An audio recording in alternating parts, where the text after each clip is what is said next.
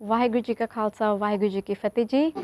Today, joining us is uh, for this special program of Sikh Channel is the first member of House of Lords to wear a turban, Lord Singh of Wimbledon.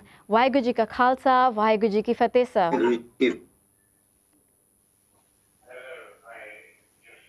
I hope you can uh, hear me, sir. I can, yes, I can. How was your day, sir? You have been the talk of the town today for making the, the decision Yes. of quitting the BBC Radio 4's Thought of the Day show after 30 years of being up there, being a Sikh voice. Uh, let's talk about today. It has been Yes. uh, a milestone in your life as well, and uh, the BBC has already been uh, uh, in this controversy over racism and racist comments, and now it has been somebody from our own community. Until and unless it doesn't happen to somebody from our own community, it doesn't, you know, it doesn't affect us as a community. We don't really talk about it, and you have come forward to make this decision. It has gone out to everybody. In, in the Sikh community uh, around the world as well. What do you have to talk about, sir? Uh, I I think you're absolutely right. If we remain silent, things get only worse. And uh, I am normally a very quiet, tolerant person, but i i you can go too far. The um, difficulty began, and there's always been difficulties with the BBC because they do not understand the Sikh religion Yes. they have a very narrow view of religion and the Sikh religion in particular. Now, now the difficulty is that I was wanting to talk about the martyrdom of Guru Tegh Bahadur. Hanji.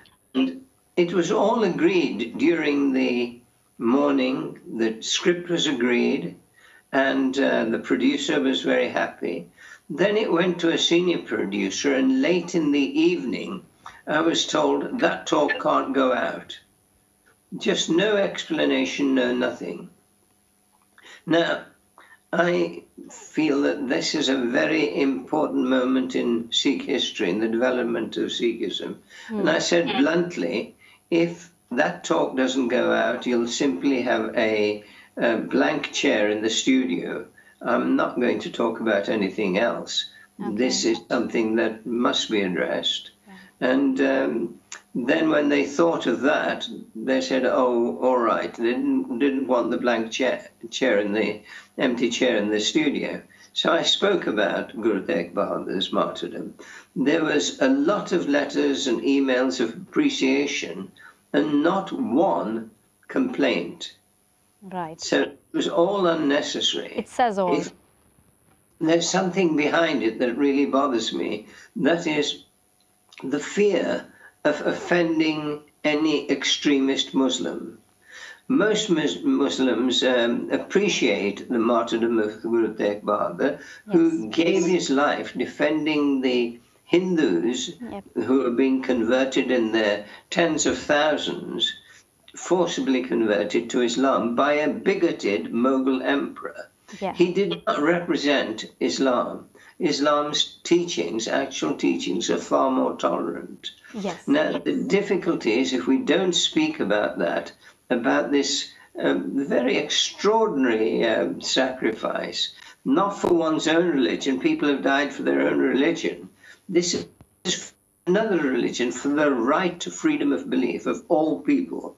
Now, that is something that Voltaire talk, spoke about. He said, I may not believe in what you say, but I'll defend to the death your right to say it. Yes. This is what um, uh, uh, Guru Tegh Bahadur actually did. He defended the right of freedom of speech. Now, the BBC should welcome that sort of talk and that contribution, but this mysterious fear of offending others um, in the Muslim community is wrong. Worse, what it does, it strengthens the hands of the extremists in the Muslim community. Many Muslims, most Muslims, are happy with um, Sikhism. We have many teachings that are similar, and um, we have so many Muslim friends. But the vast majority of Muslims would applaud what the Guru did. Right. He was not complaining about Islam. He was talking about forced conversion. Don't do it. Yes. You can by all means try and convert people by saying this is what we have to offer. That's Absolutely. a different thing. Absolutely. This is by force. So he stood up for that. Yes. And um, they tried to prevent it. Now, after that happened, they put uh, made things life difficult for me. It was getting more difficult. Eventually, there was one talk in May where I was asked by Christians in Parliament, could I talk about the persecution of Christians around the world? And I did that. It, again, it was received by the, uh, it was well re- um, received by the producer of the day. She was very happy Yeah. and it was going out. Then late in the day again, I was told that cannot go out uh, because uh, I'm getting someone else to talk about something else. Yeah. Just rude. And uh, again, I said, "Why? What's your problem?" And um, in all that time, she found she couldn't get anyone. So again, reluctantly, I was allowed to do the talk. And it was again well received by Christians and people of all religions. Yes. So this is just a harassment. The difficulty is they are fearful of offending Muslims in any way. And what they're doing is strengthening the hand of the extremist Muslims all the time. Right. So one thing is about our truth being different from somebody else's truth. But how important is it to address the historical facts and letting people know that it's not just our truth uh, that that you may or may not agree with. It's our history and they are facts. How important that we make people aware of it. It is extremely important. This is history recorded not by Sikhs, but by Muslims and um, in the English. Yep. That they were the people who recorded history. Yes. It, it is, and the thing about history is, throughout history, people have done terrible things to each other. Yeah. Now, what we can do, and what the BBC are trying to do, is bury history.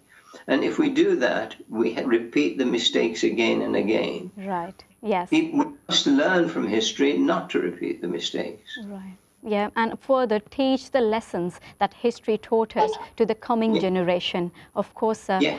let's talk about the political correctness that you had mentioned. That uh, Yeah. that's that's forcing the contributors to say non-controversial things and to not stir up the things into more controversial way. Let's talk about your idea. What what did you mean by the political correctness? There is uh, throughout the country, not only in the BBC, a growing political correctness. You can say this, you can't say that. Yeah. Um, a little open discussion about things would do no harm, and particularly about religion. Because if we talk openly about religion, what we find is that many religions who boast that we're the only ones and we're exclusive and so on, Right. will find that they have commonalities with other religions, and Yes. that reduces friction and conflict. We should focus on commonalities. Definitely. We don't we don't talk about religion. So that, that is a false political correctness that is harming society.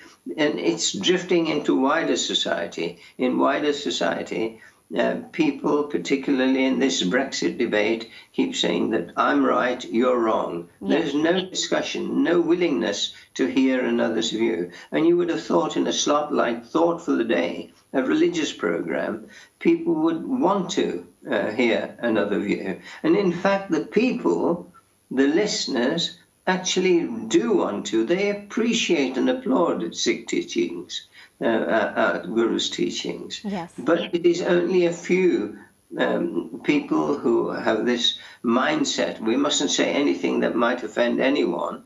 Um, that try and control things, and in the end, what they are getting, and John Humphrys, the a famous broadcaster who is just retired, was saying the same thing. That what you get is something pious and meaningless. Yeah. It should be related to life. And I've always tried, when we get an item of news, to put an, um, a- emphasis to underpin that bit of news or that concern by an ethical input. We need the ethics. We need to bring people up to remind them of what um, how to tackle common problems. Absolutely, sir. So, uh, do you? What do you think that till what extent has the Brexit vote divided uh, UK as a country and has affected its strength in uh, in, in unity and multiculturalism? It, it, has polarized much more, and part of the uh, reason for wanting to leave is a, a, dislike of Eastern Europeans coming here. Yeah.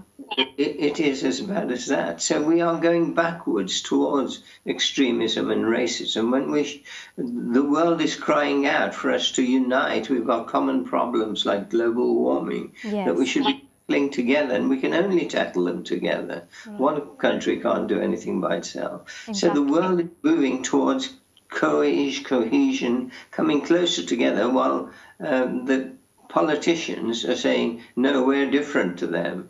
We're better. Now, this is going back a century. Right. And uh, what role do you think media plays in all this, in, in uh, creating opinions, in giving people an idea about what's right and what's wrong, and how has it handled the, the whole Brexit issue? The, the debate in the uh, media has not been open and honest at all. Mm-hmm. It is all about uh, us taking sides. No, we're pro Brexit, we're against uh, leaving or whatever. People take very rigid stances, and you see it in discussions that they are not, people these days are not willing to listen to each other. No, what I'm saying is right, you must be wrong and that extends throughout society. It's becoming a very intolerant society. Mm-hmm. Sadly, it's not only in Britain, it's happening across the world. Yep, yep. And uh, a little fact finding about you, sir, has uh, brought our attention to the fact that you had left the thought of the day back once back in 1999 as well, sir. Let's talk more about that. What made, what influenced that decision in 1999? I can't remember leaving Thought for the Day in 1990. I've never left it before. Um, e even for a few months, for a little while, sir? No, no. In fact, in uh, 1999, we were doing it quite regularly. But there have been producers, senior producers, who have their favorites and they put people, some people on more than others. But uh, I don't think so your Wikipedia page shows this fact about you that 1999 was also the year when uh, uh, you had once, you had to leave uh, for um, the, the, Thought of the Day show for a little while. Well, moving forward, have you ever faced or have you ever brushed with the, this kind of uh, controversy with the media and uh, the kind of views you have held and uh, the kind of uh, content that you want to produce? Have you ever faced any problem uh, with, uh, with the media regarding what views you hold before this incident? And there are always constant um, differences of view, which is fair enough. But going back to the Wikipedia, in 1999, the 300th uh, anniversary of the creation of the Khalsa, yeah. actually I was in the news all the time because I went to uh, India to make television uh, programs and radio programs right. for the BBC. So there, there is something wrong there. But the conflict with the uh, producers, discussions are always there. And unfortunately, what it is is a lack of knowledge of Sikh teachings. Mm-hmm. Yes. Because Sikhism is a religion that puts it's in the Guru Granth Sahib is totally devoted to ethical teachings. There's no history recorded in the Guru Granth Sahib about um, fighting with people of different types. That's in history itself, but not in the Guru Granth Sahib. Yeah. The Guru Granth Sahib is all about ethical teachings. Now, in other religions, in the Abrahamic religions, there are the um, uh, uh, Jews were always fighting with different people. Christians have had conflict. Islam, it's there in Islam, but um, it, Sikhism is all about ethical teachings, how to make us, how to make our life better, how to live responsibly, how to look to the well-being of others. Yes, that is it. So, how do you think that the society today has changed since uh, you have been here since 1933? With every Yeah. change of the decade, every changing year, how do you think the society has changed from time to time? When I was growing up, the common perception was Britain, British people are much better and um, than other people. Other people are inferior. That was taught in schools. uh, We learned it, and that was normal.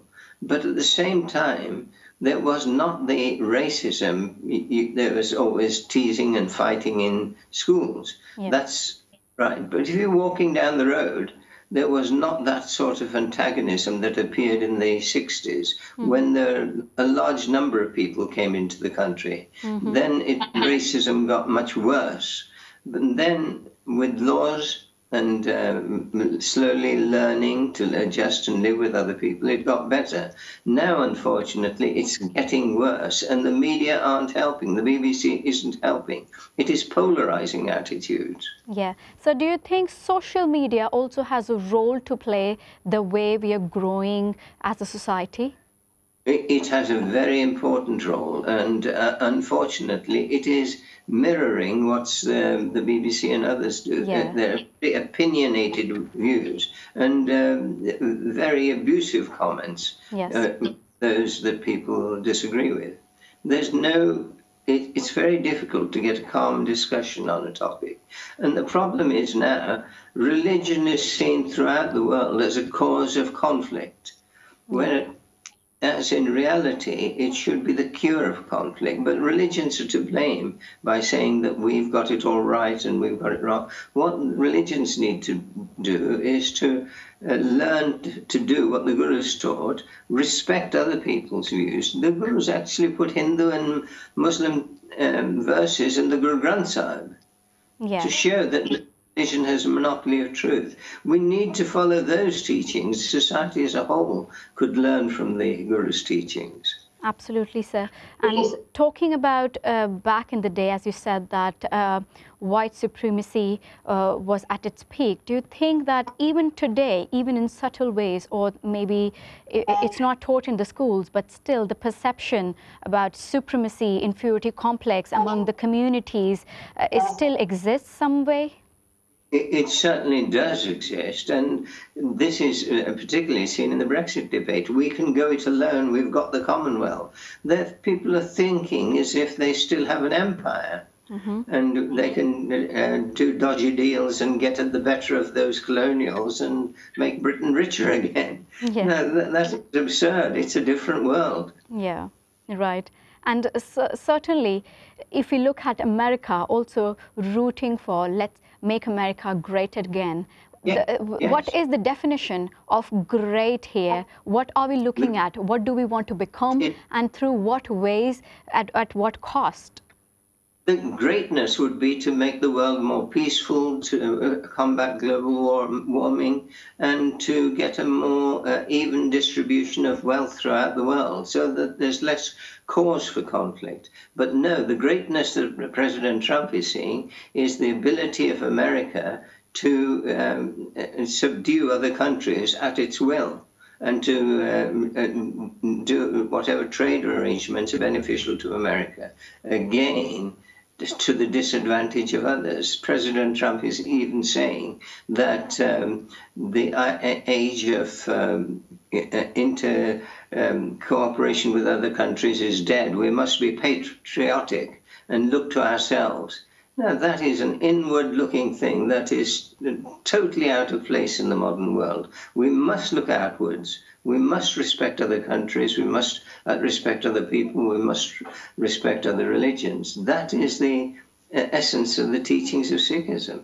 Right. And of course, it has always been a topic of debate of how much patriotism is important than universal brotherhood, or if it's universal brotherhood is more important than patriotism. And this debate somehow seems to have no right answer ever, sir. Yeah, but this is, you're absolutely right. Sikh emphasis on Manaski Jatsav Ekivachana, recognize the oneness of the human race. That goes against what many people are saying. Look at the way refugees are treated. First of all, the West bombs the Middle East for their own economic gain.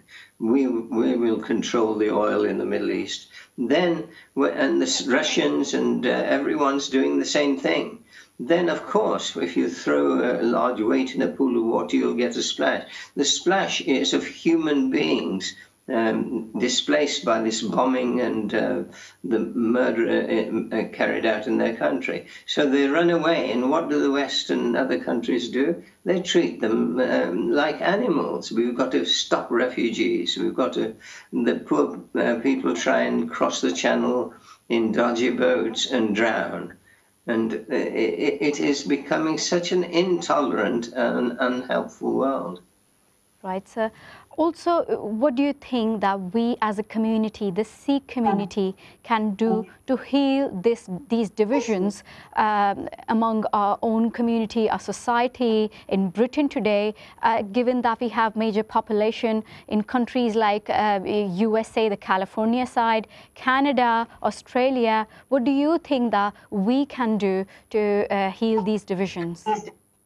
I think um, I'm not exaggerating. I think the Sikh community in this country and in other parts of the world can do and should do much more to push the teachings of the gurus to make them better known. But instead of doing that, there's particularly in this country a lot of infighting. We've got to protect ourselves. We've got to get ethnic monitoring so we can get more rights than anyone else. That's not the Sikh way. The yeah. Sikh way is to everyone. Yes, that's true, sir. And um, uh, we know you head up the organization network, uh, the network of Sikh organizations. So, uh, what do you think the plans of NSO is this year, especially celebrating the 450th Gurpurb of uh, Maharaj, Guru, uh, the first Maharaj? No, the, uh, for, for this year, pre previous times I've arranged celebrations in the Royal Albert Hall but this year, because of so many other pressures, I haven't been able to do that. But we're going to have some commemoration celebration in the House of Lords. Uh, I've been invited personally to so many places uh, right across the country that I'll be traveling almost every weekend from there. Yeah. I've already done some talks.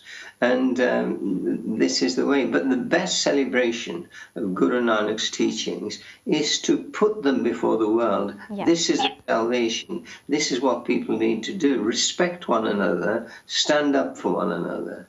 If we can make that widely known, I think that would be the best uh, celebration. But we've got a lot to do because most Sikh, Sikhs in this country are smug or and um, not looking outwards at all. We'll go to the Gurdwaras, listen to Kirtan, have Langar, come back again, but won't take the message on board or communicate it to others.